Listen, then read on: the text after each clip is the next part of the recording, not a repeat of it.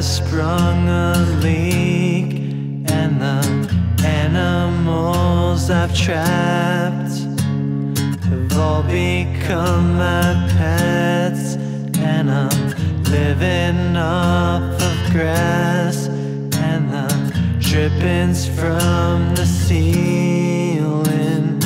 It's okay to eat fish, cause they don't have any feeling.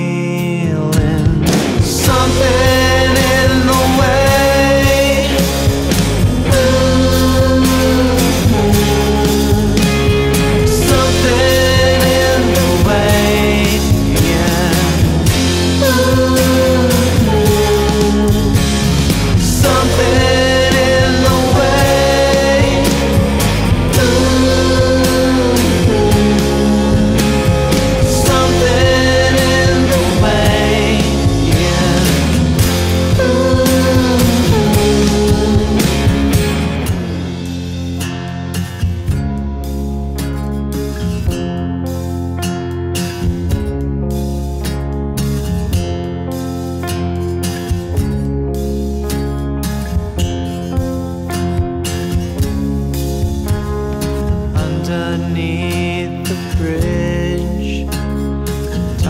sprung a leak and the animals I've trapped have all become my pets and I'm living off of grass and the drippings from the ceiling.